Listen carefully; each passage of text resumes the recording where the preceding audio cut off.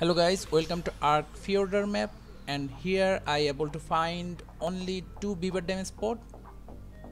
So guys here is our first spot latitude 49 and longitude 73 let me show you. Make sure to collect them all because they spawn faster when you collect them all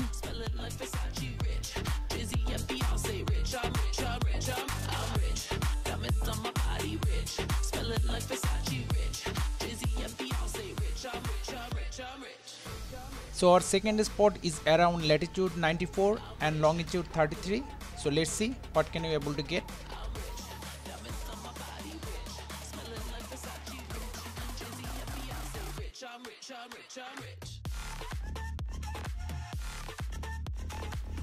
Thank you for watching. Have a good day